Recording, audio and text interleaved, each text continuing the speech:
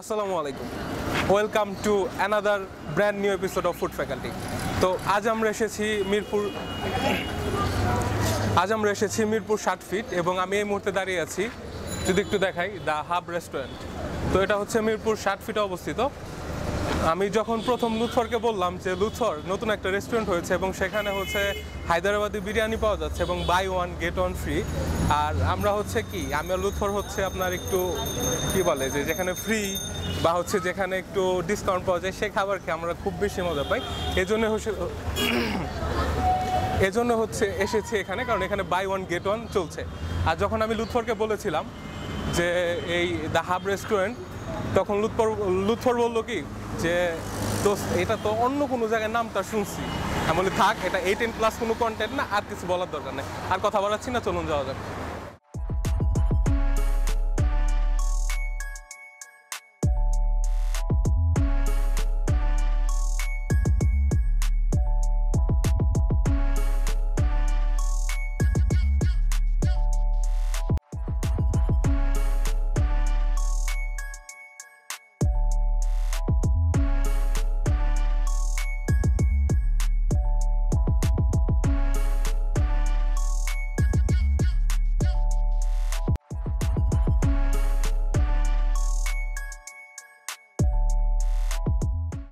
আমরা the hub রেস্টুরেন্টের ভেতরে এসে বসেছি এবং আমাদের অনেকক্ষণ ওয়েট করা লাগছে, প্রায় পাঁচ থেকে দশ মিনিট, কারণ আপনারা হয়তো দেখেছেন যে মোটামুটি একটা হাউসফুল অবস্থা ছিল, তো আমরা এক সাইডে একটু বসেছিলাম এবং পাঁচ থেকে দশ মিনিট পর জায়গা পেয়েছি।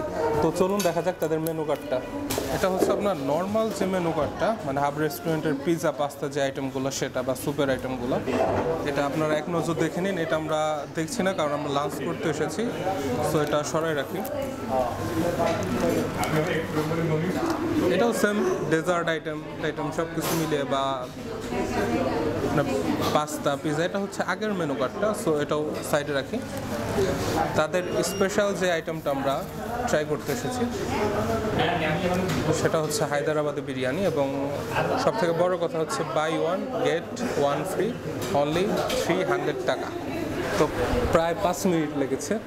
খুব তাড়াতাড়ি, যদিও খুব প্রেশার কিন্তু খুব তাড়াতাড়ি তারা আমাদের খাবার সার্ভ করেছে। তো এই দেখতে পাচ্ছেন।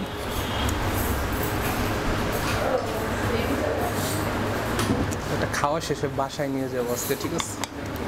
চুপি চুপি নিয়ে যাব যাতে কেউ না দেখে। এখন কোনটা খাব? এটা একটা দেখা যাচ্ছে, রান দেখা যাচ্ছে। তবে এটাই খাব লুথফরেরটা মেবি দেখা যাচ্ছে না সো এটা বাদ। ওটা, এটা থাক। আমি এটাই খাব।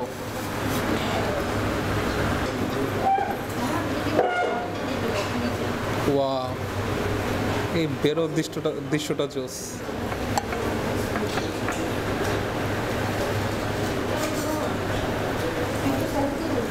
প্রচুর।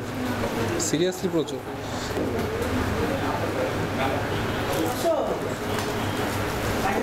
এর সাইজটাও বেশ ভালো। একটু সাজাই নেই নাকি? এখানে আমরা যেটা দেখতে পাচ্ছি, চালটা বাসমতি চাল। আর সম্ভবত হলুদ যে জিনিসগুলো, এগুলো জাফরান।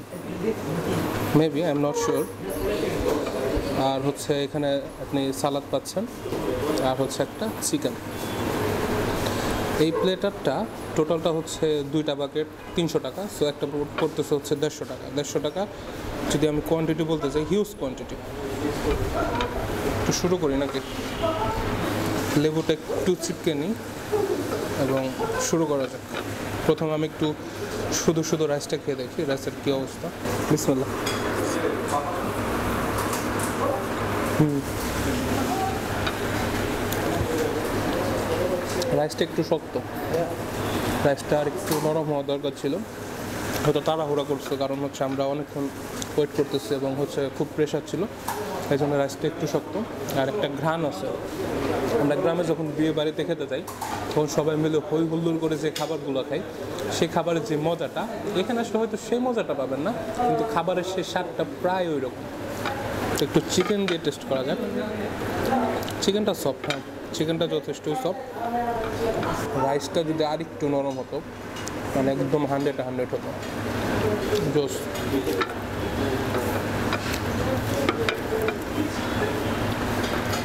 ক্ষুধা লাগছে খুব একটু খাই একটা জিনিস একটু হতাশ হলাম। আমি আশা করেছিলাম, ও, দোস্ত, পেঁয়াজ দিছে। এই যে পেঁয়াজ, দোস্ত, চিন্তা এটা কি চলো না, এটা পাশে রেখে এটা যাওয়ার সময় নিয়ে যাব। এখনও ঢাকাতে একশো সত্তর টাকা। কী অবস্থা ভাই? তা এইগুলা এগুলা খাব না এগুলা নিয়ে যাব। ঢাকাতে এখনও একশো সত্তর টাকা কেজি পেঁয়াজ। তা আমি খুঁজতেছিলাম মানে প্রথমে এটা যখন দিচ্ছে আমি খেয়াল করি না এটা পেঁয়াজ। তো যখন পাইছি মানে কি ভাই? মানে এই এই প্লেটটার দাম দেড়শো টাকা, কিন্তু আমি পেঁয়াজ পাইছি একশো সত্তর টাকা। তার মানে কি? আমি টাকা পে করলে খাবারটা তো আমার ফ্রি এর উপর আরও বিশ টাকা আমার লাভ পেঁয়াজ এক টাকার মধ্যে। কতদিন এরকম কাঁচা পেঁয়াজ খাই না? রান্নাই পেঁয়াজ পাওয়া যায় না আর কাঁচা পেঁয়াজ। আরস আরস এটা আগে শেষ করি খাবার। তো আজকে মন ভরে খেয়েছি এবং লুৎফর পুরো যে বাকেটটা ছিল সেটাই শেষ করে ফেলেছে। আমি শুরুতে যেটুকু নিয়েছিলাম সেটুকু এরপর আর খাইনি। ডায়েটে আছি তো। জোকস আবার। তো শেষ করলাম খাবার, মন ভরেই খেয়েছি আজকে। এখন হচ্ছে ডেজার্ট এক্সট্রা যে আইটেমটা, তারা দিচ্ছে হচ্ছে সেমাই। সেই ডেজার্টটা খেতে খেতে ভিডিওটা শেষ করব। তো আমরা কিন্তু আমাদের ম্যাক্সিমামের কাছে প্রায় যদি আমি ধরি, ঢাকা শহরে যারা থাকে, তাদের প্রায় নাইনটি থেকে নাইনটি ফাইভ পার্সেন্ট মানুষের কাছে বিরিয়ানি খুবই জনপ্রিয় খাবার। তো এই হায়দ্রাবাদি বিরি- বিরিয়ানিটা কই থেকে আসলো, এটা একটু জানা দরকার। কারণ আমরা যারা খাই, আমরা শুধু খাই, কিন্তু আমরা কখনো জানি না যে এটার ইতিহাসটা কি। তো মুঘল সম্রাট আওরঙ্গজেব যখন হায়দ্রাবাদ দখল করেছিল, তখন নিজামুল মুলক তাকে দায়িত্ব দিয়েছিল হায়দ্রাবাদের এবং তিনি ছিলেন আমাদের মতো প্রচুর ভোজন রসিক। তো তার সময় তিনি যে বিরিয়ানিটা প্রচলন করেছিলেন, সেটা হচ্ছে মূলত হায়দ্রাবাদি বিরিয়ানি নামে পরিচিত। এবং আমরা হয়তো এখন কী খাচ্ছি? মাটন, তারপর হচ্ছে চিকেন এগুলোই তো নর্মালি বা বিফ দিয়ে হায়দ্রাবাদ বিরিয়ানি খাচ্ছি, কিন্তু সেই সময় প্রায় উনপঞ্চাশটা আইটেম ছিল। সেখানে আপনার চিংড়ি ছিল, অন্যান্য মাছ ছিল, কোয়েল পাখি ছিল। এই সব কিছু দিয়ে তখন এই হায়দ্রাবাদ বিরিয়ানিটা করা হতো। তো এখন হচ্ছে খাবার দাবার তো মোটামুটি শেষ হোক ডেজার্টটা একটু মুখে দিন। মিষ্টির পরিমাণটা ঠিকঠাক। আহামরি মিষ্টি না মানে সময়টা ভালো ডেজার্ট হিসেবে ভালো।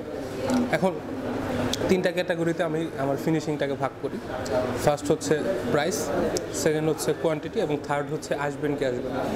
তো আমি যদি ফার্স্ট একটা বলি যে তিনশো টাকা প্রাইসে দুইজন না, তিনজন খেতে পারবেন কারণ হিউজ দুইটা বাকেট এবং খুব ইজিলি তিনজন খাওয়া যাবে। প্রাইসের কথা গেল। প্রাইসের সাথে আমি কোয়ান্টিটিও বলে দিচ্ছি কারণ একটা যে বাকেটটা সেটা আপনারা দেড়জন মানুষ খুব ইজিলি খেতে পারবেন। সো কোয়ান্টিটিতে তারা টেনে টেন প্রাইসের দিকেও টেনে টেন এখন আসে হচ্ছে আসবেন কি, আসবেন না। তো এটা হচ্ছে যদি আপনি পুরান ঢাকায় থাকেন, তাহলে বলব আসার দরকার নেই। কারণ এত দূর থেকে আপনার পক্ষে আসা খুবই কষ্টকর হয়ে যাবে। কিন্তু আপনি যদি আশেপাশে থাকেন বা নতুন ঢাকায় থাকেন, একদিন ট্রাই করতে পারেন। কারণ এটা রেকমেন্ড করাই যায়। কারণ দেড়শো টাকায় আপনি দেড়জন মোটামুটি দেড়জন খেতে পারবেন আর তিনশো টাকায় তিনজন খুব ইজিলি খেতে পারবেন। সো সেই হিসেব করলে এটা অবশ্যই আমরা রেকমেন্ড করব। তো এই ছিল মোটামুটি আজকে রিভিউ ভিডিওটা শেষ করি। ক্যামেরায় ছিল লুৎফর আমরা ছিলাম ফুড ফ্যাকাল্টিতে তো। ষাট ফিটে দ্য হাব রেস্টুরেন্ট আজকে এখানে যাত্রা শেষ করছি। This is Zahid signing off